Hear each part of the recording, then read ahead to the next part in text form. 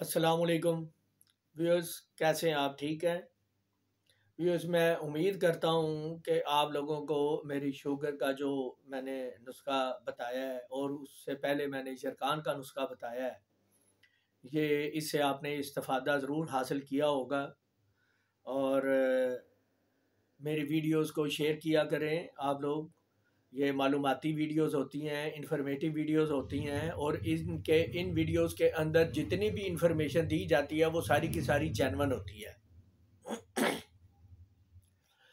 Viewers इस वजह से मैं आप लोगों से रिक्वेस्ट करता हूँ कि मेरी वीडियोस को ज़्यादा से ज़्यादा आप लोग शेयर किया करें। इन इनशाला ज़रूर आप लोगों को बेनिफिट मिलेगा। व्यूअर्स आज की ये छोटी सी मेरा टॉपिक है फ्रस्ट्रेशन एंजाइटी हर किसी को है। और ये जब हद से ज़्यादा बढ़ जाती है व्यूअर्स तो ये एक बीमारी की शक्ल अख्तियार कर लेती है। और इस बीमारी के लिए लोगों को साइकेट्रिस्ट के पास जाना पड़ता है। मजबूरी है, हर बीमारी के लिए हर डॉक्टर अवेलेबल है। इसमें ऐसी कोई बात नहीं है। साइकेट्रिस्ट जो है, वहाँ पे जाना जो है, ये कोई ज़रूरी नहीं है कि जो शख्स पागल हो जाए, कपड़े फाड़ ले, लोगों को ईंटे मारे, वही साइकेट्रिस्ट के पास जाता है। जब किसी बंदे की एंगजाइटी हाथ से ज़्यादा बढ़ जाती है, उसको टेंशन होती है तो उसके बाद उसको लाजमी जाना पड़ता है, जाना चाहिए। तो व्यूर्स क्यों ना हम डॉक्टर के पास जाने से पहले एक छोटा सा काम कर लें। मुझे अपने रब की बारगाह से बड़ी उम्मीदें वाबस्ता हैं।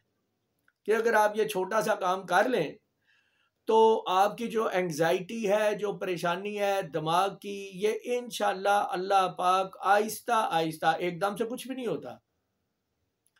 आहिस्ता आहिस्ता व्यूअर्स ये आप लोगों की एंजाइटी ख़त्म हो जाएगी।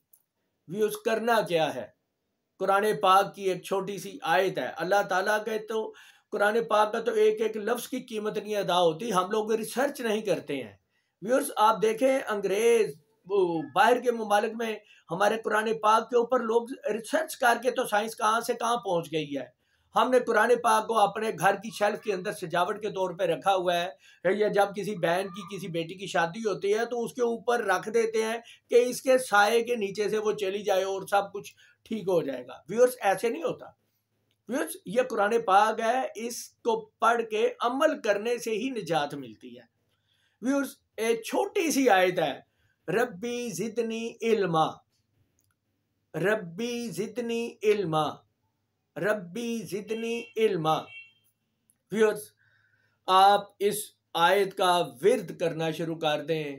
आपकी ज़बान पाक, कपड़े पाक होने चाहिए।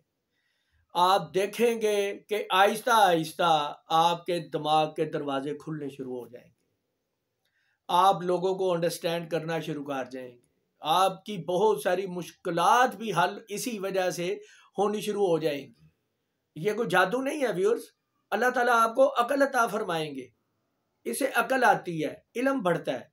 तो जब आपके पास अकल आ, आएगी, आपकी अकल बढ़ेगी, इलम बढ़ेगा ऑटोमेटिकली आप ज़िंदगी के तमाम मसाइल को अच्छे तरीके से हैंडल करना सीख जाएँगे। तो व्यूअर्स मेरा इतना ही इसके ऊपर जो है वो आज का बोलना था कि आप इसको अपनी ज़िंदगी का हिस्सा बनाएँ। इन व्यूअर्स देखेंगे with the passage of time आपको कितना फ़र्क मिलेगा। मुझे कमेंट्स मेरी वीडियोस के ऊपर ज़रूर किया करें। ताकि कोई अच्छाई या बुराई हो तो मुझे मालूम मिलती रहें। और अगर किसी को कोई सवाल हो तो वो भी मुझसे कर सकता है। इन मैं कोशिश करूँगा कि उनको सेटिस्फाइड करने के लिए। मुझे अपनी दुआ में याद रखिएगा।